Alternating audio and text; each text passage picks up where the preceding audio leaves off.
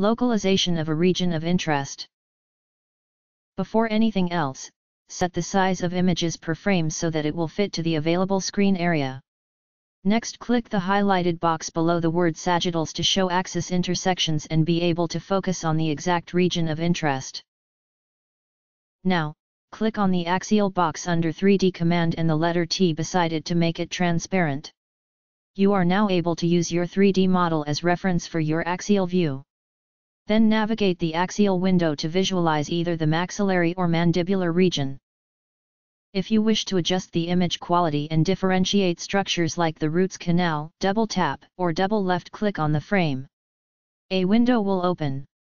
Click and drag your mouse inside the image until your desired image brightness and contrast has been achieved. The technique is to watch out for the dentoenamel junction to be distinct. You may also click on Sharp Plus and drag the bar downwards until you achieve your desired image sharpness. Then click on Apply button.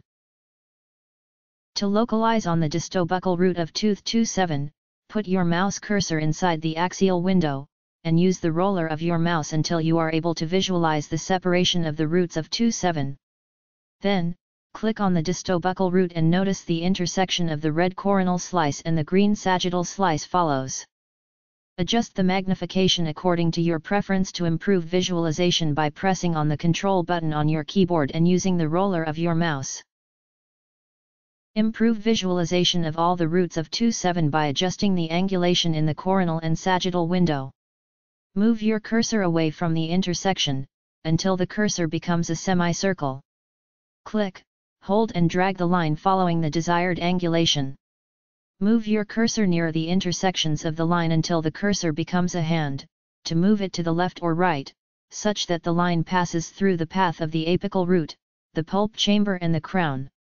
Notice now the appearance of each root of tooth 27.